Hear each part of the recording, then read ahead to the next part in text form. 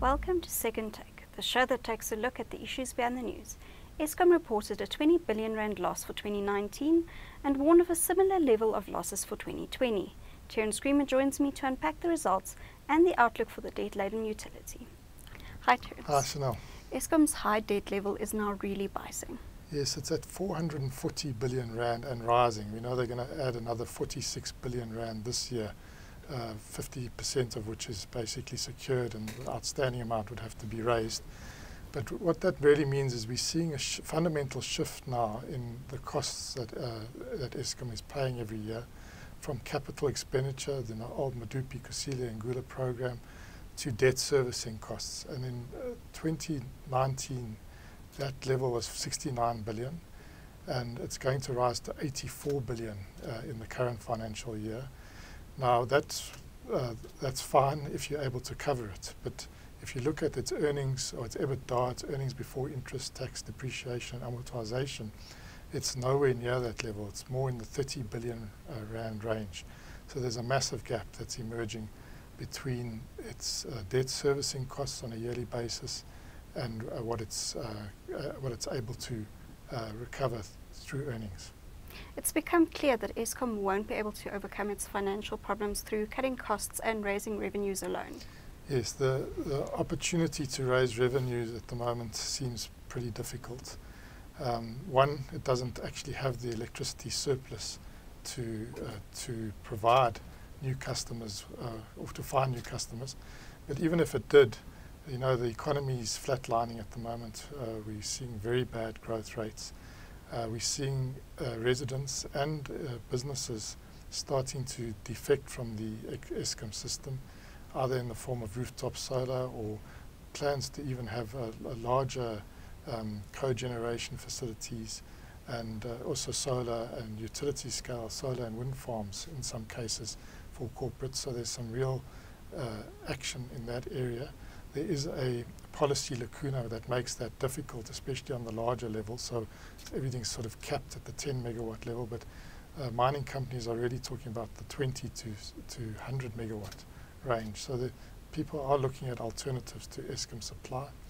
And uh, then there's the whole issue of uh, municipal non-payment. That's also really becoming a, a, big issue. Soweto and municipalities are still not paying. So uh, there's on the on the revenue side, it's really a, a, difficult story, and it's going to be difficult for Eskom to find new customers and customers that are able to pay or customers that aren't necessarily uh, taking the electricity for free. So that's a, that's a, that's a really difficult uh, uh, prognosis on the revenue side. And then on the cost side, I know there's a big focus, I think, for society that Eskom needs to become much more efficient and needs to be uh, incurring its costs prudently. But this is a big fixed cost business mostly, and uh, some of these costs are, are difficult to bring down massively. So there is a target of 77 billion cumulative by 2023. But um, and th there has been some progress in reducing the costs, but the focus is going to be purely on, it seems, on the procurement side of things, trying to eke out uh, gains uh, here and there from coal or from different consumables uh, to the way money is spent on maintenance, etc.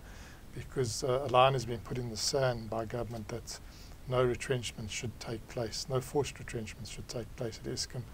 Now, this is going to be an issue for, uh, for debate in society, I think, uh, given that the, the pain that uh, everyone is experiencing around Eskom and the fact there's been a lot of uh, fiscal support from the government, whether there shouldn't be a more assertive uh, look.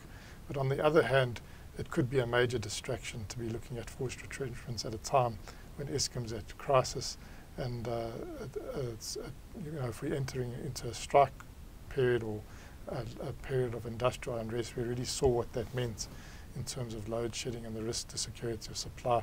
So that could be very disruptive. So I think the approach is not to have forced retrenchments, to continue with natural attrition at this rate of about nearly 2,000 people a year leaving the organization, um, which doesn't really move the needle that much. And then, uh, you know, looking at cutting costs on the procurement side. But as your question alluded to, that's not going to be enough to get people, both the, the, revenue opportunities are limited, uh, there's cannibalization from alternatives, and the costs are not going to be enough to close that gap that we spoke about between um, the earnings and the, uh, the debt servicing costs.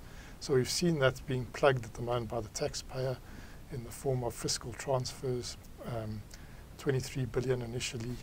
Now we've had the 59 billion special appropriations bill, and we've been told by the president that over the 10-year horizon, it's going to be 230 billion of, of fiscal transfers into Eskom. But again, that's not going to cut it. So there's going to be, have to be a societal discussion around moving Eskom's tariff to a cost reflective level so that that remaining residual gap of say 40 billion rand a year uh, after the fiscal transfers, after the cost cutting, um, and maybe some revenue gains, but that's look as I said, looking very unlikely. There's going to have to be some focus on moving that uh, tariff into a cost reflective level, and that's going to be a really bitter, I think, battle. And uh, uh, but until we grasp this nettle, I think uh, the Eskom sustainability issue is going to linger. There has been no news on a final turnaround plan, but there has been some movement with regard to a chief restructuring officer. Yes, I think this is a big frustration for society, especially inside the energy industry, is the pace at which uh, progress is being made on one finalising the strategy at Eskom. Um, we know that there has been a strategy before, a turnaround strategy uh, presented to government, but that hasn't been approved. And I think part of the issue is it's a bit of cart before the horse issue. Uh, government wants to have a, a, policy framework that it's operating in, so it wants to publish a white paper that defines the sort of uh, transition that Eskom is going to go through, including the the high, the high profile issue of unbundling into generation, transmission and distribution. That white paper isn't prepared yet, but it should be prepared in the in the next couple of uh, weeks or, or month or so. And uh, that will also help guide the chief restructuring officer, which will be an outside person. Uh, we know it's Freeman Nomvalo that's been appointed from the South African Institute of Chartered Accountants to head up an office that is really, I think, mostly accountable to the National Treasury and to the Department of Public Enterprises. And that, so it won't be a single individual, but an office that will look uh, at, at, injecting certain thought, leadership, and skills that uh, from outside of Eskom, um, and almost as the as the shareholders' uh, sort of eyes and ears into how this restructuring should take place. But you can see that already the immediate focus is not so much the the, the restructuring of the business.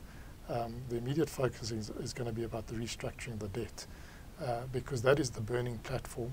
And although ultimately the restructuring of the business, I think, is, is going to be very important and it's uh, directionally very important for the sustainability of the electricity supply industry beyond this vertically integrated monopoly, which we now know is totally fundamentally flawed and unsustainable. Um, the burning platform is the debt, debt restructuring. And we know there's several options on the table, very convoluted options, uh, uh, very challenging to understand, but special purpose vehicles and uh, good assets versus bad assets uh, type approach. Uh, that I think the chief restructuring officer and that office surrounding him at the moment is going to have to look at that debt restructuring as a priority so that we have some sort of visibility uh, on that issue. And then once I think that is out the way, I think then the focus will shift to the, the, the reorganization of Eskom into a, into a fit for purpose type uh, utility where there's generation, transmission system operator and, dist uh, and distribution separated. Uh, then we'll have much more visibility of where the efficiencies are, or inefficiencies lie and also where the private sector has a role to play but I think we're still some way off, and I think there's growing frustration at the lack of seeming lack of urgency, other than providing the bailout support, which is is, is crucial from government. But in terms of finalising um, some sort of uh, policy framework, as well as providing some uh, indication of the end state of what Eskom is going to look like and what the electricity supply industry is going to look like. And without that, um, it's, it's, it's going to be, and without some sort of uh, decisive movement on that, I think there's going to, it's going to be difficult for investment in the space, and we're going to continue to be kicking this can down the road. And uh, you know, Eskom at 20 billion rand loss this year, another 20 billion rand loss next year. This is a really serious issue that has to be uh, dealt with very urgently. Thank you. That's the Second Take Show for this week. Thank you for watching and join us again next time for more news analysis. Also, don't forget to listen to the audio version of our Engineering News daily email newsletter.